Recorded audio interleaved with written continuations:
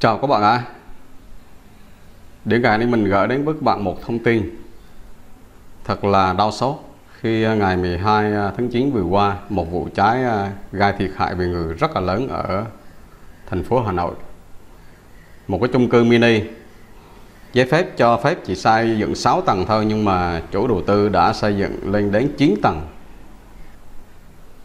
Không biết hệ thống phòng cháy chữa cháy thiết kế như thế nào mà khi cơn cháy này nó xảy ra mà nó các bạn là để lại số lượng người chết rất là lớn các bạn. Lên đến 56 người. Trong đó có rất nhiều giáo viên và sinh viên học sinh. Đây là căn chung cư mini cháy các bạn này. Cháy như thế này thì không thể thoát được các bạn.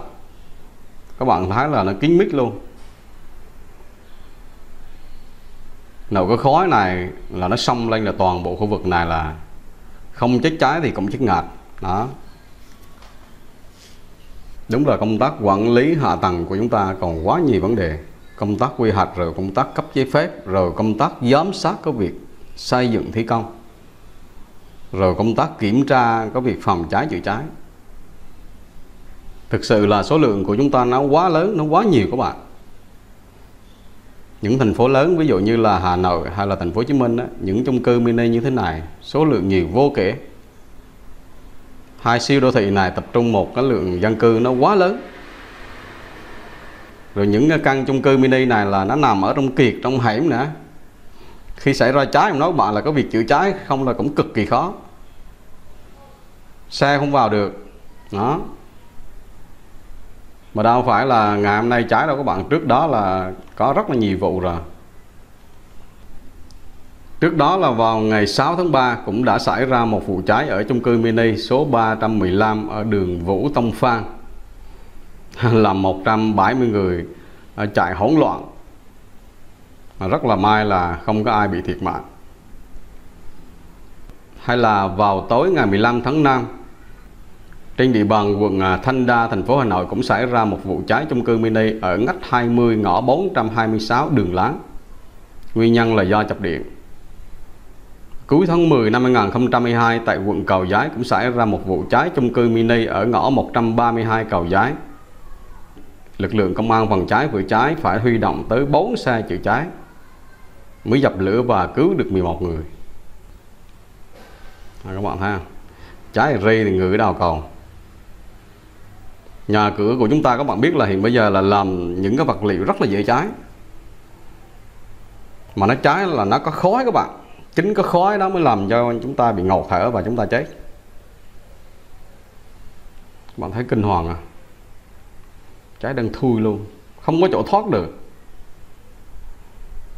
Về công tác quản lý, luật sư tháng, thẳng thắn cho rằng chính quyền địa phương chắc chắn sẽ biết về vi phạm liên quan đến chung cư mini. Tuy nhiên, nhiều khả năng là tới khi phát hiện vi phạm thì công trình đã hiện hữu và được phạt cho tồn tại. Thực trạng này theo ông Tháng là một kiểu buông lỏng quản lý ngay trong quá trình xây dựng. như mình nói nãy các bạn đó, à, từ cái khâu thiết kế rồi từ cái khâu giám sát dường như là chúng ta thả hết. Nhiều lắm, cả nước Việt Nam mình không làm gì cho hết bây giờ ăn trái rủi xui trúng chịu thôi, cho nên chịu các bạn. Về lâu dài, các công trình chung cư mini muốn hoạt động, cho thuê là phải chuyển sang công trình lưu trú và áp dụng các quy định về phòng cháy, chữa cháy, để hạn chế những rủi ro. Công tác quy hoạch rồi công tác quản lý của chúng ta ở đâu cũng có vấn đề rằng á. Bây giờ sự việc xảy ra, thứ nhất là dân thiệt mạng còn anh chủ nhà này thì bị bắt ở ừ, thôi chứ còn bây giờ sức đo mà kiểm tra cho hết được, không thể kiểm tra nổi được. Vô vàng luôn. Thủ tướng Chính phủ đã chỉ đạo khẩn rà soát toàn bộ chung cư mini nhà trọ ở những à, thành phố có mật độ dân số cao, đặc biệt là Hà Nội và thành phố Hồ Chí Minh. Đó, công tác quản lý xây dựng của chúng ta, các bạn này quá nhiều vấn đề vô cùng đau xót. 56 con người đã ra đi. Sau những vụ cháy này, chắc chắn là những căn hộ mini này, cái giá nó sẽ có sự điều chỉnh. Người dân sẽ thận trọng hơn vấn đề mà chọn, mua hoặc là thuê những cái căn hộ mini. Các chung cư mini, đó. Rồi các cơ quan nhà nước phải tăng cường công tác kiểm tra, rà soát hay lại để coi thử ông nào ông thiếu thì bổ sung chứ không lòng vòng nó bạn vài năm còn cháy nữa, chứ không phải dừng lại tới đây đâu. Còn những năm về sau đó, các bạn biết là những chung cư này nó nó lớn tuổi. Rồi các thiết bị về à, điện đài nó các bạn là sử dụng nhiều hơn. Hồi xưa ví dụ như người ta thiết kế là mức độ thôi. Bây giờ mỗi một nhà như vậy là sắm đủ thứ ấy máy điều hòa rồi nước nóng, nước lạnh đủ kiểu hết thì cái hệ thống điện nó sẽ quá tải chỉ cần nó chập một cái chỗ nào, nó sạc lửa, nó bán phát nó bạn là lúc đó là cứ không nổi luôn á. Dân của chúng ta phần đa là ở vậy thôi, chứ còn có ai có được kỹ năng để mà à, chữa cháy đâu. Nhiều khi có cái bình à, CO2 ở sản nhà đó, nhưng mà cháy cũng bỏ chạy chứ, không biết sử dụng. Thứ hai là tinh thần hỗn loạn, bỏ chạy. Thì thông thường cái đống cháy nó bắt đào từ cái đốm cháy nhỏ nhất. Nếu như phát hiện kịp thời và bình tĩnh, nếu có được công cụ, dụng cụ phòng cháy chữa cháy và có người đó biết sử dụng, bình tĩnh thì xử lý được. Chứ không mà để nó đã cháy thành một cái đốm lớn của nó các bạn là các cái bình chữa cháy thông thường nhỏ nhỏ là bỏ hết, không giải quyết được vấn đề. Nó cháy nó loan rất là nhanh các bạn. Lúc đó là điện ờ, lực lượng phòng cháy cháy tới có khi mất ờ, mấy chục phút anh mới tới. Đường xá của chúng ta lúc nào cũng kẹt xe. Rồi những căn chung cư này nó nằm trong ngõ, trong hẻm sau nữa thì tốn rất nhiều thời gian để mà lực lượng tới nơi được. Lúc đó thì các bạn biết là lửa nó đã bùng lên tất cả những cái căn. Khói nó loan rộng sang tất cả các phòng. Lúc đó là chị, bó tay luôn. Đợt vừa rồi nó cháy cái vụ ờ, quán karaoke ở Bình Dương các bạn thấy không? Có rồi kì đóng kín luôn coi như là chỉ có trách ở lên nha. Hết đường thoát các bạn. Rồi ngày nay mình chia sẻ với các bạn một bài để à, các bạn có thêm kinh nghiệm. Có những trường hợp chúng ta mua những cái căn nhà các bạn này có sổ sách đường hoàng không vướng vấn đề gì trơn á. Thanh toán tiền đau đái rồi đến khi chúng ta đem hồ sơ đó lên văn phòng đăng ký đai để sang tên ra cho chúng ta thì lúc đó à, cái hồ sơ nó lại bị trục trặc tiện thì chúng ta đưa hết cho họ rồi. Đó, có nan giải là nó nằm chỗ này các bạn này. Đó, khi đi mua nhà cửa là nó dễ dính cái trường hợp như thế này lắm chứ không phải là không có đâu. Đặc biệt là những cái nhà mà nó nằm trong ngõ trong hẻm được các bạn này.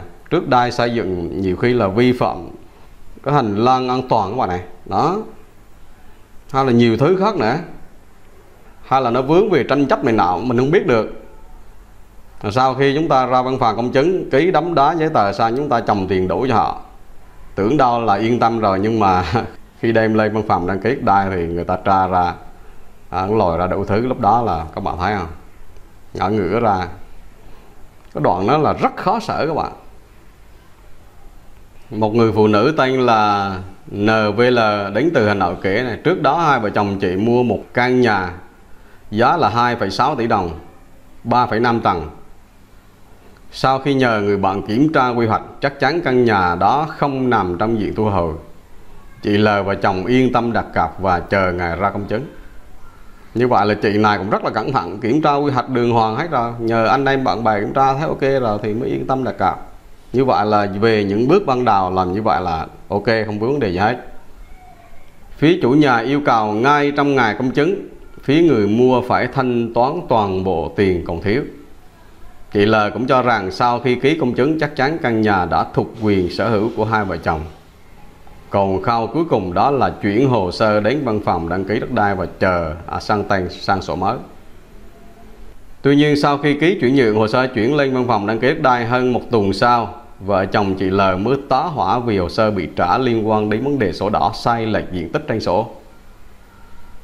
Ở trường hợp như gia đình chị L không phải là điều hiếm gặp à, bây giờ gặp trường hợp này thì chúng ta phải xử như thế nào? Đó. nhiều lý do lắm các bạn. Sổ đỏ bị sai diện tích các bạn này hay là sai hiện trạng tài sản trên sổ này hoặc là sau khi công chứng rồi nhưng mà vẫn có đơn kiện tranh chấp hay là chủ nhà còn nợ tiền thuế sử dụng đất. Đó nhiều thứ linh ta linh tinh trong đó lắm. Bây giờ có cách gì để à, phòng ngừa hay là không? Thì có một cách như thế nào các bạn này. Ví dụ như là trong hợp đồng công chứng á, cần phải có thêm điều khoản. Trường hợp sau khi công chứng mà không hoàn tất việc chuyển nhượng sở hữu theo quy định của luật pháp á, thì trong thời hạn 7 ngày kể từ ngày à, bên mua thông báo cho bên bán biết thì bên bán phải có trách nhiệm hoàn trả lại toàn bộ số tiền đó. Nếu quá thời hạn trên mà bên bán không hoàn trả lại số tiền thì xem như là bên bán vi phạm hợp đồng và phải có trách nhiệm bồi thường. Số tiền gấp mấy lần đó thì cái đó chúng ta thỏa thuận chúng ta ghi vào. À, việc bồi thường này phải thực hiện ngay khi có phán quyết của tòa sơ thẩm. Nếu chậm trễ thì hai bên có thể à, bổ sung thêm những cái điều khoản về trả lãi theo lãi suất ngân hàng vậy đó, ví dụ như vậy. Thì thông thường sau khi ra văn phòng công chứng các bạn ạ, văn phòng công chứng người ta có sẵn cái mẫu à, hợp đồng những cái điều khoản này có khi là nó không có có các bạn. Nhưng mà để đảm bảo an toàn và chắc chắn thì chúng ta nên yêu cầu văn phòng công chứng và thỏa thuận với bên người bán á, phải ghi cái điều khoản này vào. Lỡ có việc gì xảy ra thì chúng ta có cơ sở chúng ta kiện. Đó. Chứ còn chúng ta không ghi cái thỏa thuận này vào trong cái hợp đồng công chứng sau này kiện cáo cũng rất là mệt. Đó các bạn thấy khi đi mua bất động sản trong cho mọi thứ nó may mắn nó không vướng vấn đề gì. Chứ còn nó bạn khi nó đã vướng là nó mệt vô cùng. Đau đào nhức áp. Tiền thì chúng ta trả cho họ hết trơn rồi. À, có khi nhiều người bán xong đi đâu đau biết đường đâu. Hay là chúng ta từ địa phương này chúng ta đi sang địa phương khác chúng ta đi mua. Cái việc mà chúng ta đi thực hiện những cái thủ tục mà kiện cáo hồ sơ thủ tục nó rất là mệt rồi ngày nay mình có một cái bài ngắn nhỏ chia sẻ như vậy thôi. Các bạn nhớ like và đăng ký kênh giúp mình nhé. Bye bye, chào các bạn.